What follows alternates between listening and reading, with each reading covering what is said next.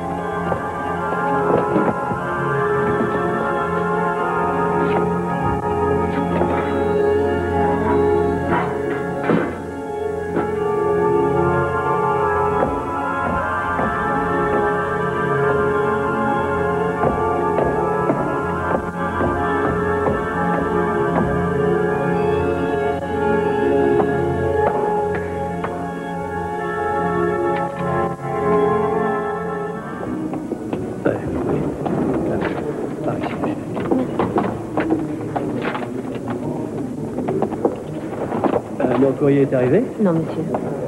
Qu'est-ce qui se passe Il y a- il y a du retard ou quoi Bonjour. Bonjour. Vous êtes l'infirmière du docteur Clark Oui, c'est exact. Vous êtes une patiente du docteur Non, non, non, non, je suis Eden Capwell. Le docteur Clark a soigné un de mes amis, Pearl Bradford. Oh oui, je me souviens maintenant. Je vous avais pas reconnu. Vous avez un malade dans l'hôtel? Euh, non, je travaille comme infirmière dans l'équipe médicale d'urgence.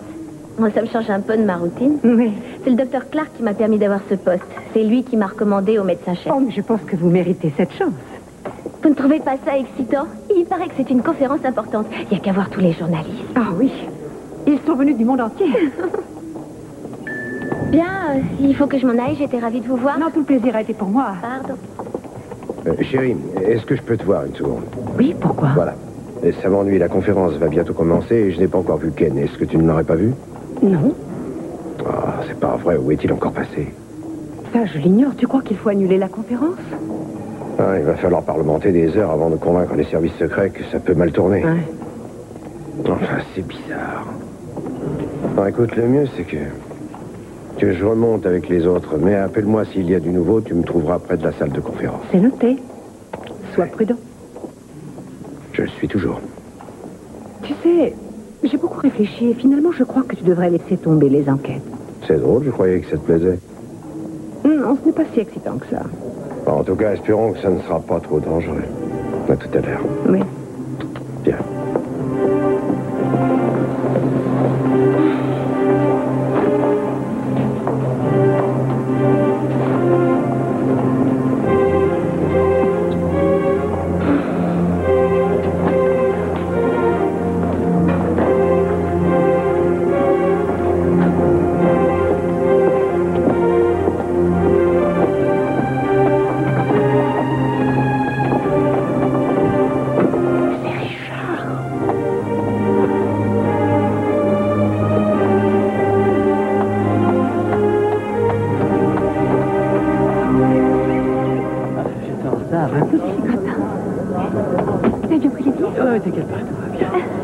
Alors, attends.